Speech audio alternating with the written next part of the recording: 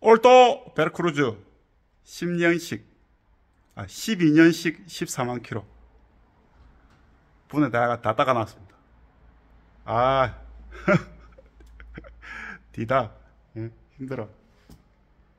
안에 청소한다고 시급합니다. 시급해. 이 홀 닦는 일입니다. 홀 닦는 게. 어?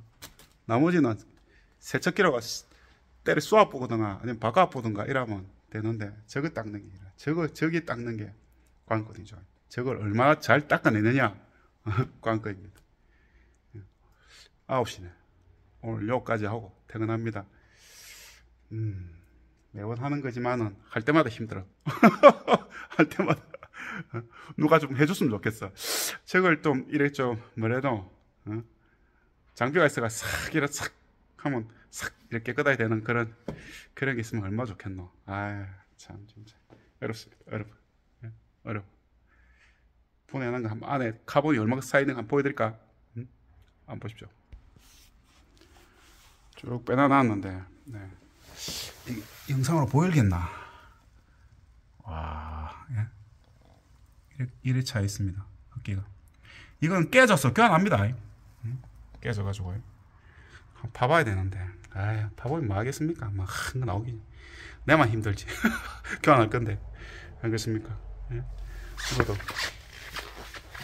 그래도 막, 새카마이, 막. 엉망이 엉망. 그죠? 이게 어찌 보면 콧구멍 때려 막한 거 똑같습니다. 콧구멍. 우리 충농증, 충농증 걸리면, 음, 숨쉬기 힘들다, 힘들다 아닙니까? 그거하고 똑같은 거지. 네. 아이고, 와이 던지놨노, 이거. 음? injector 볼트 6개 하고 가열 플러그까지 교환합니다. manifold 새거, 네, 새거 요 있고요. 베라크루즈가 우리 쉽게 생각하면 저, 저기 카본이 한자 EGR 때문에 배가스 재순환 장치 때문에 막히기 시작하는데 근데 사실 이젤 없애보면 저를 막히는 일이 없지. 음. 음, 그리고 자동차 입장에서도 우리 충농증 걸리면 충농증 걸리면 우리 달리기 못 하지 않습니까?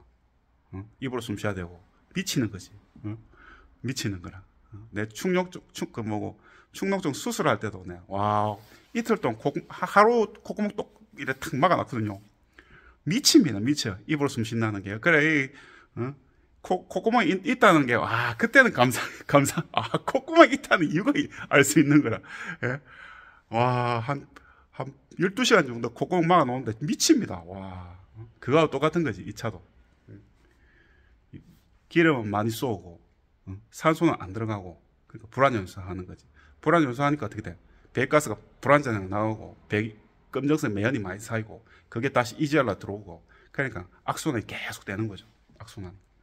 그런 겁니다. 그래서 카본이 쌓이는 겁니다. 카본. 그래서 엔진오일 하고 이런 것들, 부동액들, 엔진오일들 이런 것 좀 관리를 잘 하시면 아주 좋아집니다. 차가. 차가 막 진짜 보들보들했습니다. 이 차도 승, 어, 저 뭐야 상태가 아주 좋은데도 이 정도입니다. 컨디션이 좋은데도 이 정도라. 근데 10년 찼잖아, 10년. 그죠? 10년 타서 이제 그거 한 거지. 오늘 청소했으니까 내일 인젝터 확인하고 다 한 개 한 개 착착착착 조립하도록 하겠습니다.